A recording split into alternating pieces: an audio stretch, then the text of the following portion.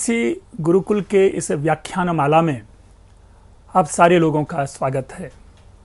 मैं doctor Pankaj Kumar Mishra, Saint Stephen's College के संस्कृत विभाग में एसोसिएट प्रोफेसर हूँ। मित्रों, मैं एक बार फिर से आपके सामने संस्कृत भाषा विज्ञान को लेकर के उपस्थित हूँ और इसके विभिन्न पक्षों को, विभिन्न तत्वों को हम जानने का प्रयास करेंगे। मित्रों, इससे पूर्व हम चर्चा में ला रहे थे जिसमें कि भाषा का वर्गीकरण किया था और तदनुसार आकृति मूलक वर्गीकरण और हमने पारिवारिक वर्गीकरण को आपके सामने प्रपोज किया था। आकृति मूलक वर्गीकरण के संबंध में उसके भी भेदोपभेद की चर्चा की। आकृति क्या होती है? रूप रचना क्या होती है? रूप संरचना क्या होती है? और क्यों रूप संरचनाओं के आधार पर किसी भाषा का एक फोल्डरिंग जो होती है, वो आकृति मूलक के अंतर्गत क्यों होती है, इसको जाना। आज हम उसी आकृति मूलक के जो भेदों पर भेद हैं, हम उनको आगे पढ़ेंगे, आगे जानेंगे। तदनुसार आकृति मूलक के दो भेद हैं, अयोगात्मक और योगात्मक। अगर अयोगात्मक को समझने की कोशिश करें तो इसको इस प्रकार समझा जा सकता है कि वह भाषा वर्ग, जिसकी भाषा में अर्थ तत्व के साथ रूप तत्व का योग नहीं होता। हमने पीछे अर्थ तत्व और रूप तत्व के ऊपर में विमर्श किया था और रूप तत्व के लिए एक शब्द विशेष प्रयोग लाया था, जिसे संबंध तत्व कहा था।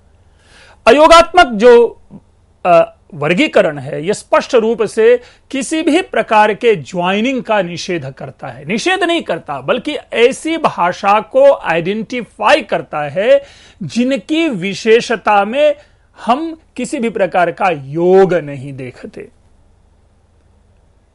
इन दैट टर्म उसको हम कह सकते हैं कि वो मोनोसिलेबिक होता है। मे बी आप उसको यह कह सकते हैं कि वो उसकी जो सीमा है उसमें फ्लेक्सिबिलिटी नहीं होती है। लेकिन ठीक उसकी दूसरी ओर योगात्मक भाषा। जब हमने योगात्मक की चर्चा की थी तो हमने एक यह भी कहने की कोशिश की थी कि प्राय जो जितने भी इंडो यूरोपियन लैंग्वेज है जो नॉर्थ इंडियन जो भारतीय भाषा है उसको हमने कहा था कि यो योगात्मक है। और किसी भी भाषा को योगात्मक कब कहा जाएगा? कि जब भा, यह भाषा वर्ग जिसकी भाषा में यानी वह भाषा वर्ग वह भाषा समूह जिसकी भाषा में अर्थ तत्व के साथ रूप तत्व का योग होता है। अर्थात अर्थ तत्व और संबंध तत्व दोनों मिलकर के ही उस भाषा को, उस शब्द को पूर्ण बनाएगा। तो मित्रों, यह अयोगात्मक और योगात्मक का विश्लेषण है।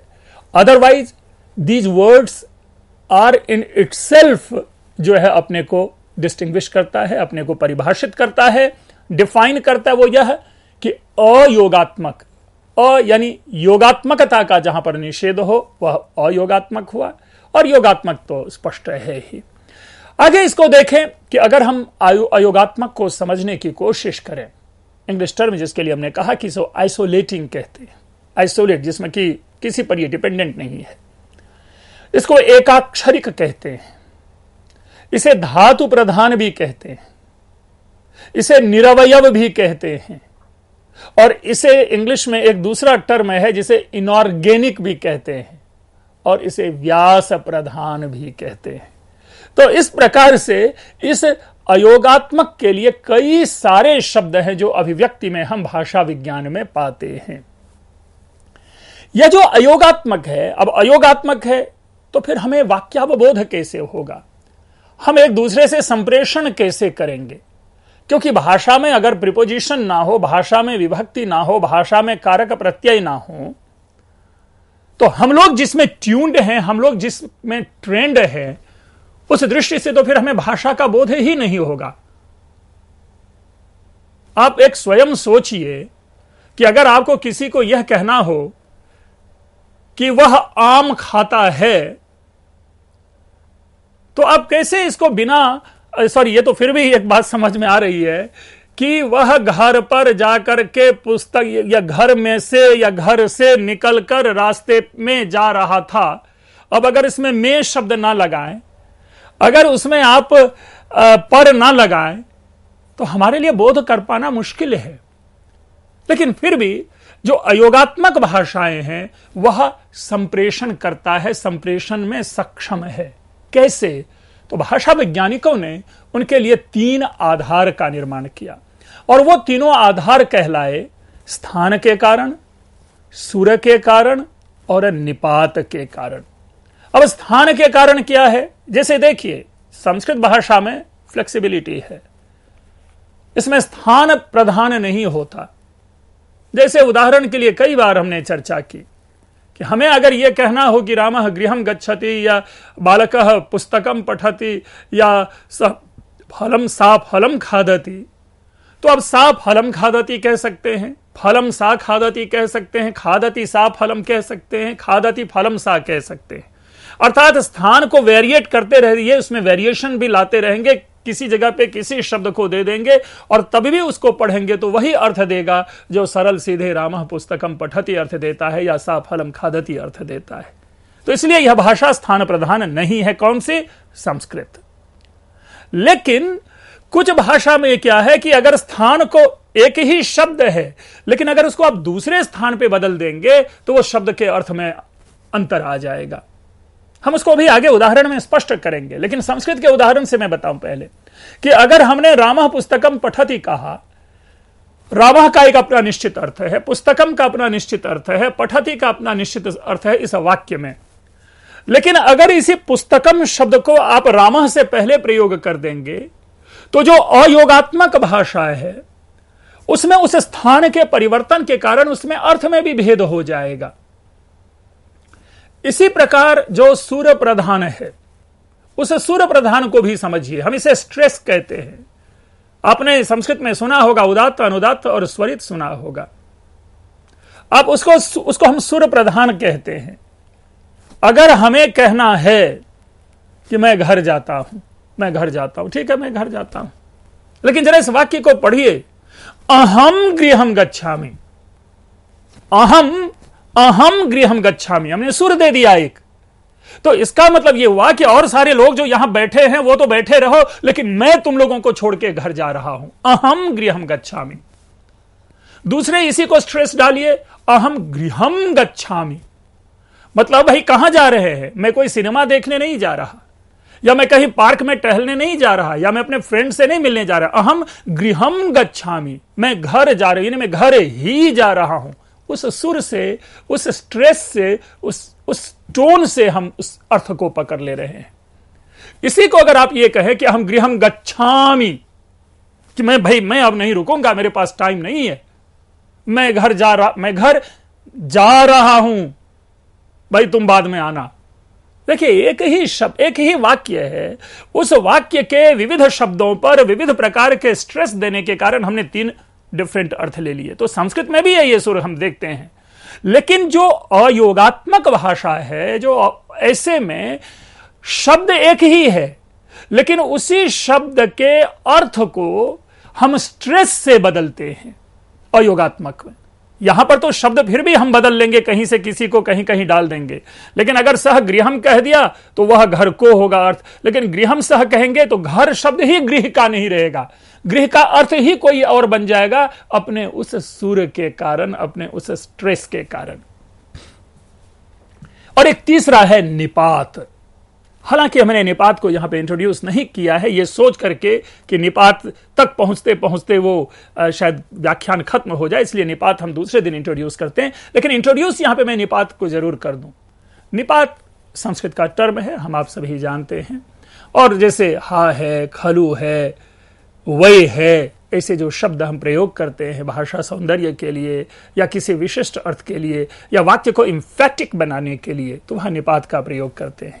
तो ऐसे अयोगात्मक जो है, उसमें निपात की भी विशेषता होती है, जिसके कारण हम उस भाषा का अर्थ ले पाते हैं। तदनुसार आपके सामने आप देखेंगे कि चार प्रकार की विशेषता हमने अयोगात्मक की यहाँ पे प्रस्तुत की है आपके लिए, कि पदों में व्याकरणिक कोटि का अभाव होता है।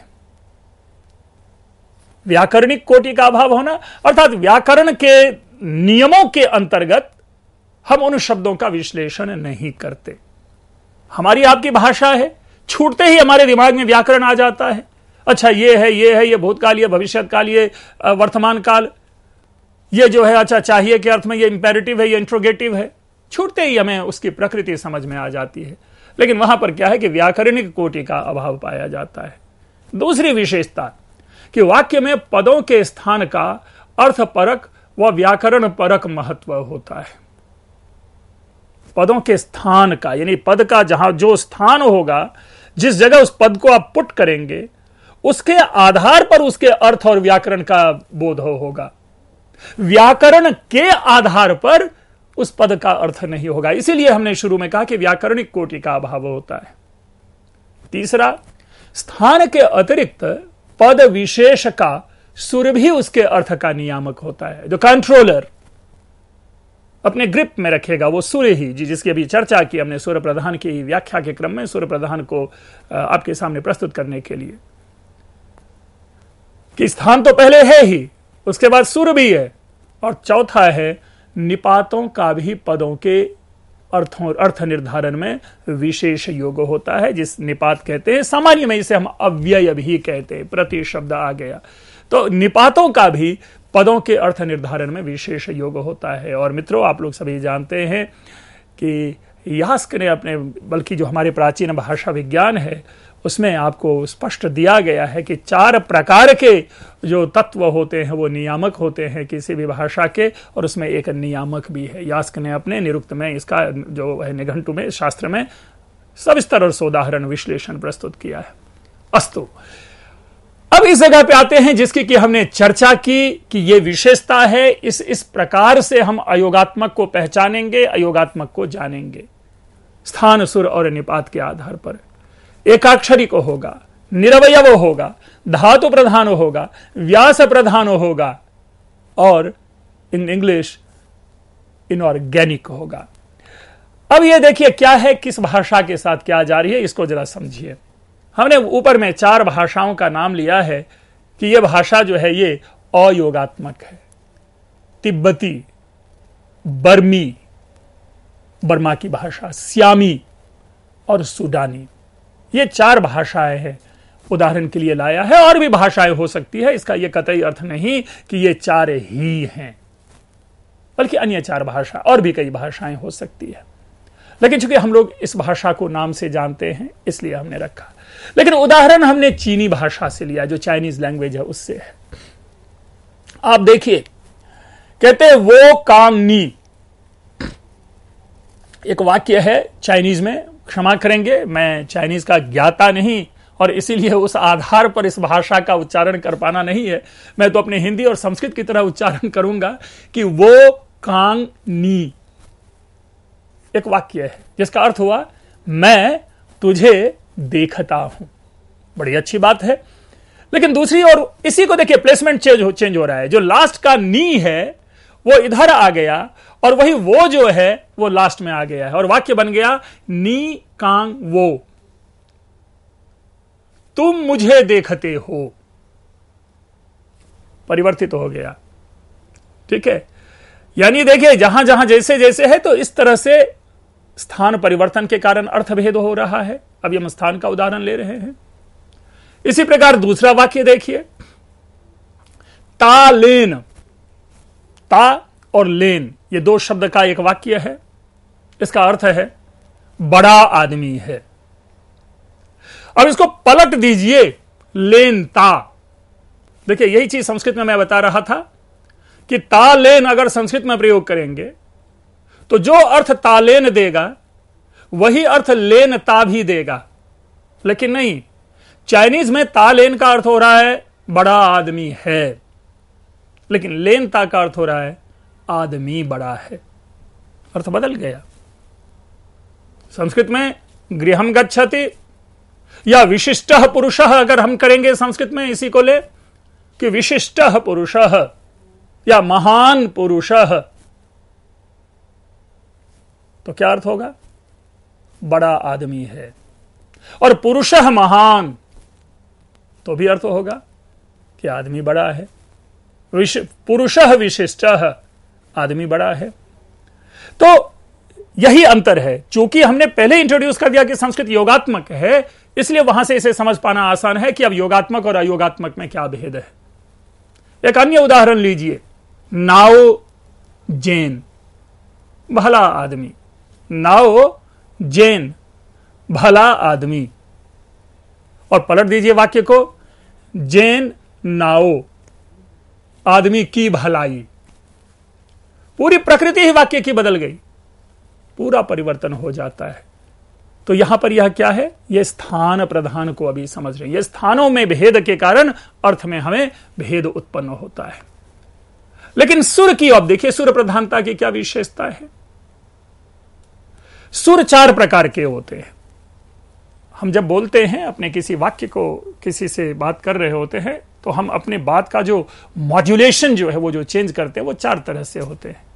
जैसा भी मैंने शुरू में समझाया था, एक तो सामान्य है कि हम गृह गच्छा में फिर होता है नीचे से ऊपर की ओर हम ले जाते हैं, और खास करके जो आप संगीत जगत में देखते होंगे कि जब कोई बातें होती हम नीचे से ऊपर की ओर ले जाते हैं। जिसे आरोह कहते हैं। नीचे आप ब्लू प्लेट में देख रहे होंगे, लिखा हुआ है। और एक होता है ऊंचाई से नीचे की ओर। ऊपर से हाई पिच से बोलना शुरू करते हैं बोलते बोलते नीचे आके रुक जाते हैं। और चौथे प्रकार का है, ऊँचे सुर में, ऊँचे सुर में सदैव बोलना। हमेशा ऊँचे सुर में ही। तो इस चार प्रकार के ये सुर होते हैं।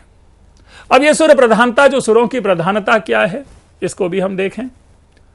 जो संस्कृत के माध्यम से हमने अभी बात की, आरोह अवरोह। इसी को हम उदात्त और अनुदात्त की बात करते हैं। और देखिए, वहाँ पर लक्षण भी है।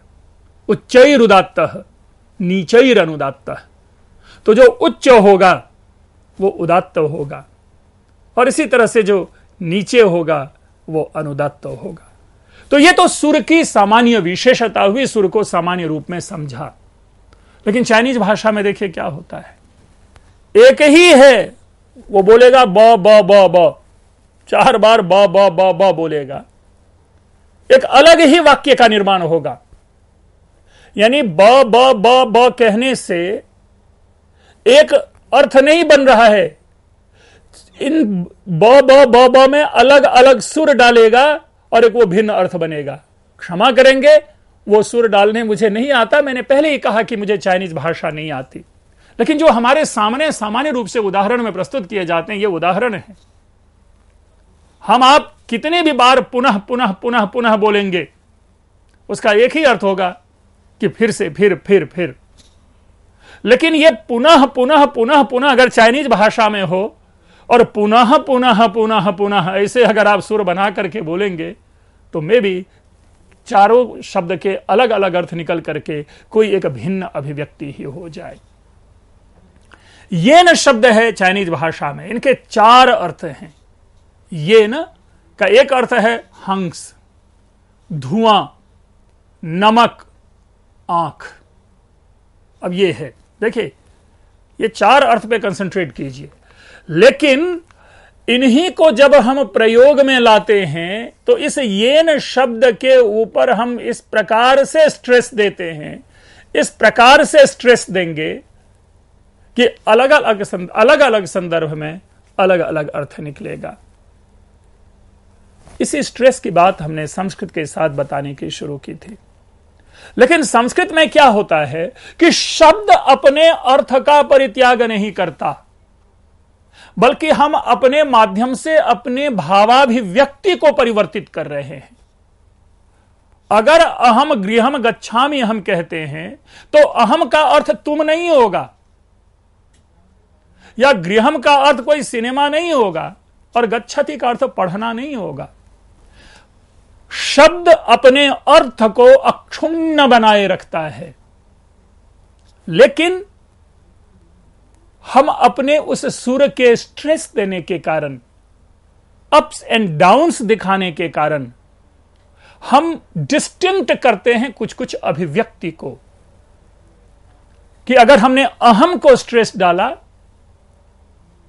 तो औरों को भी कोई ना कोई उससे इंस्ट्रक्शन मिल रहा है। इसलिए हमने कहा कि भावाभिव्यक्ति में परिवर्तन। लेकिन चाइनीज़ भाषा, या जो योगात्मक भाषा होती है सॉरी क्षमा करेंगे, जो अयोगात्मक भाषा होती है, वो अयोगात्मक भाषा अपने अर्थ में भी परिवर्तन ला रहा, ला रही है। और उसका एक विशिष्ट उदाहरण है चाइनीज़ जिस चाइनीज़ भाषा को हम आपके सामने लेकर के यहाँ पे उदाहरण में समझाने की हमने कोशिश की। अब अकॉर्डिंगली अगर आप क्लासिफिकेशन करें कि चाइनीज़, तिब्बती, सुडानी, उन उन भाषाओं की क्या है तो देखिए इसके लिए भी हमने आपके सामने यहाँ प्रस्तुत किया है कि जो चीन देश की भाषा है, वो स्थान और सूर प्रधान है। स्थान का भी महत्व है, जैसा हमने उदाहरण में देखा, मैं फिर से अभी बैक जाऊँगा और उसको और स्पष्ट करूँगा। और सुर का भी महत्व है। स्थान और यानी अगर स्थान बदलेगा, जैसे अभी हमने ता लेन में किया था, लेन ता किया था तो उस जैसा हमने ता लेन बोला, वैसा लेन ता नहीं बोला जाएगा। उसमें सुर भी बदलेंगे। और तभी जाकर के सामने वाले को उस अर्थ का बोध होगा। और जिनको इस भाषा में गति नहीं है, वहाँ पर वही वो फिर उस भाषा का वह अर्थ का अनर्थ समझ लेता है, या अर्थ अर्थावबोध ही नहीं होगा, या वही एक बोध करेगा, वही एक अर्थ कैरी करेगा कंटिन्यू करेगा, जो अर्थ वो केवल एक जानता है। सुडानी में स्थान का महत्व है, अर्थात स्थान बदलकर अर्थ भी बदल जाता है, स्थान परिवर्तन होने के कारण अर्थ परिवर्तन हो जाता है। मित्रों, हम आप सभी जानते हैं कि भारोपीय भाषा में सामान्य रूप से स्थान परिवर्तन से अर्थ परिवर्तन की संभावना कम रहती है। क्यों? क्योंकि ये सारी की सारी जो भाषाएँ हैं, वो संस्कृत के द्वारा गवर्नड है। संस्कृत के द्वारा वो कंट्रोल्ड है। और संस्कृत जो है, वो स्वतंत्रता देती है यह भाषा। कि आप शब्दों का प्रयोग कहीं भी कर सकते हैं। और यही कारण है कि कितने भी बड़े से बड़े पद्य आप प्रयोग, देखिए जो संस्कृत में जो पद्य लिखे जाते हैं, वो लिखे ही इसलिए जाते, इतने सुंदर ढंग से लिखे जाते, या हमारे यहाँ के जो शब्द, जो प्रयोग में आते हैं, कि उस शब्द को कहीं प्रयोग कर दें, अर्थ आपको वही चलेगा। और यही कारण है कि चार चरणों वाले पद्य 21 वर्णों वाला छंद आप पढ़ेंगे तो उसमें भी आपको क्रियापद ज़रूरी नहीं है कि क्रियापद आपको कहीं मिल जाए। चार, चौथी पंक्ति में जाकर के तीसरी पंक्ति में, दूसरी पंक्ति में कहीं क्रिया घुसी रहेगी। कर्तृपद कहीं और रहेगा। आप देखिए, आप कंसंट्रेट कीजिए। मेघदूतम का एक श्लोक है। कश्चित कांता विरह गुरुना स्वाधिकारात प्रमत्त। शापे नास्तंग गमित महिमा वर्ष भोग्यन भर्तु। यक्षश्चक्रे जनक तनया स्नान पुण्योदकेशु स्निग्ध छाया तरुषु वसतिम रामगिर्याश्रमेशु आपको आश्चर्य लगेगा कि तीसरी पंक्ति में कर्तृपद और क्रियापद एक साथ जुड़ी हुई है। यक्ष चक्रे। पूरा वाक्य पढ़ लिया। लेकिन फिर भी यहाँ पर एक संयोग है कि यक्ष और चक्रे एक साथ हमें मिल गया कि यक्ष ने निर्माण किया, यक्ष ने बनाया। लेकिन अब क्रिया कर्म पद को ढूंढिए। भाई, क्या बनाया? तो चौथी पंक्ति में आकर के वसतिम शब्द आ रहा है। ऐसा नहीं है कि यक्ष, वसतिम, चक्रे। यक्ष कहीं और है, वसतिम कहीं और है, चक्रे कहीं और है। इसी तरह से कोई भी श्लोक ले लें संस्कृत का। यह क्यों? क्योंकि वहाँ पर स्थान परिवर्तन से अर्थ भेद नहीं हो रहा।